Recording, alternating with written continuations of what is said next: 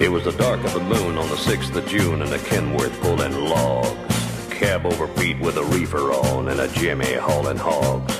We was headed for Bear on I-10 about a mile out of Shaky Town. I said, Pigpen, this here's a rubber duck and I'm about to put the hammer down. This is a New Age Trucker giving you an update here. I'm sitting here in Louisville, Ohio at the place I'm supposed to be going to. Been sitting here four hours.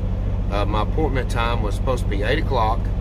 Um, I don't know if you ever guys ever run for TQL broker, but they suck.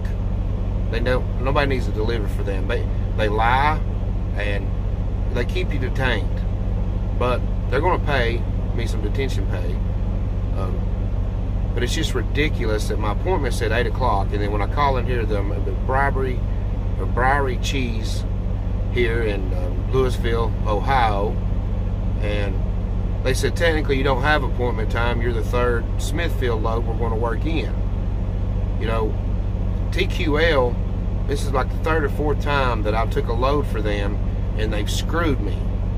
And it's just ridiculous that they do this to us drivers.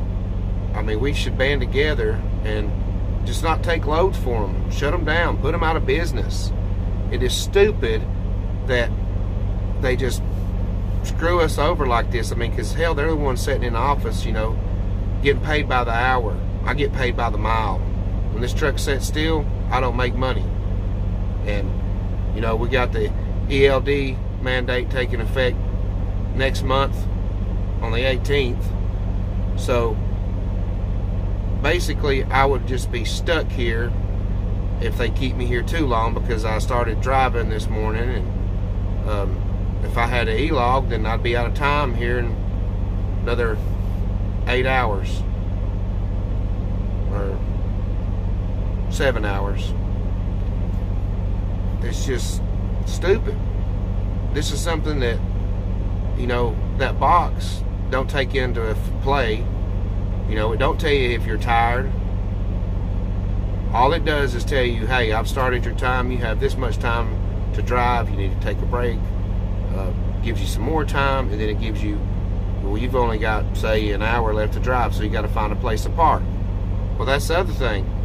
Depending on what time you start driving, these truck stops, if you anybody else has noticed, they're just getting more and more past couple months fuller around six, seven o'clock. If you don't get in there before then, you ain't finding a spot unless you pay for a parking. But I think here, when that mandate goes in effect and everybody's got the box, you ain't going to be able to find reserve parking that you pay for at the TA and the Petro, um, the Flying J. I mean, and the pilot. It's just, it's crazy what they do to us out here and put us through. You know, here it is Monday. Uh, I'm wanting to get back for Thanksgiving. I also have a, a doctor's appointment I got to get to Wednesday morning. And that's what I, you know, told my dispatch. They're gonna sit here and get me screwed. I'm just, she's like, well, we'll get you detention pay. And I said, well, I'm more worried about getting home um, for my doctor's appointment. Uh,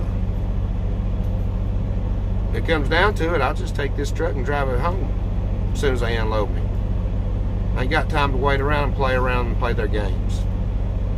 But like I said, uh, once again, TQL sucks.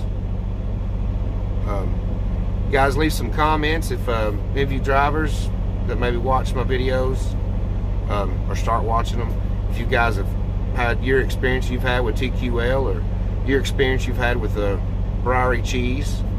Um, but like I said, I'm just posting a gripe here, uh, giving you an update. Uh, but like I said, subscribe to my channel, comment, like, and if you like bass fishing, check out my buddy Bass and Grass.